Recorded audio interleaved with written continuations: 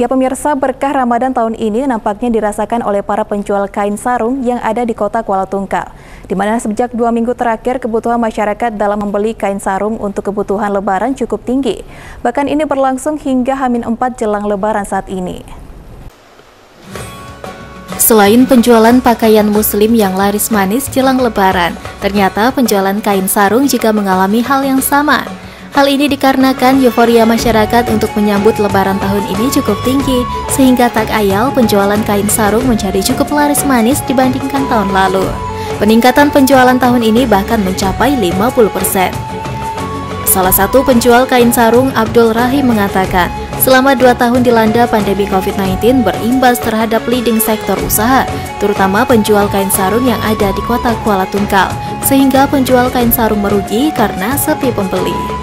Namun pada Ramadan tahun 2022 ini, gairah penjual kain sarung kembali bangkit, sebab ramai pembeli kain sarung mulai dirasakan bahkan hingga Hamin 4 jelang lebaran. Alhamdulillah penjualan kain sarung untuk di tahun 2022 ini Fitri uh, ada peningkatan lah dibanding tahun-tahun yang lalu. Hmm. Kalau tahun-tahun yang lalu kan ada COVID-19, hmm. jadi terhambat lah. Terhambat ya. Jadi ada penurunan. Kalau sekarang mulai meningkat lah. Nah, berapa persen peningkatannya bang? Kalau kita lihat nih bang, kalau perbandingannya bang? Uh, mungkin 50 persen dari tahun-tahun yang sebelum-sebelumnya, hmm. sebelum ada pandemi. Hmm. Ada Berarti pandemi. ini berkah tersendiri lah bagi kita bang ya, ya untuk pedagang nih bang ya tahun ini ya. Selain itu jahit juga sendiri bang kainnya itu seperti apa tuh bang?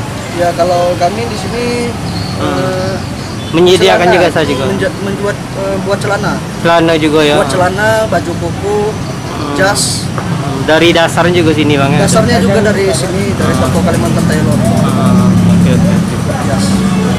Meski demikian, Rahim menjelaskan jika sehari jelang lebaran, antusias masyarakat berburu kain sarung akan kembali meningkat, sebab kain sarung bisa langsung dipakai untuk sholat Idul Fitri pada hari raya Idul Fitri nanti.